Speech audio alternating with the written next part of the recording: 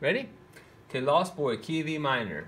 So it's E minor, E minor over D, C, and G. So this is your verse.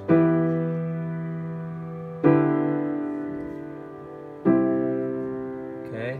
And then you go to A minor 6 3.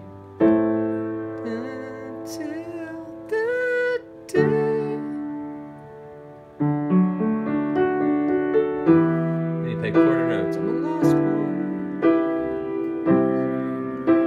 It's the same progression, just with quarter notes instead of half notes.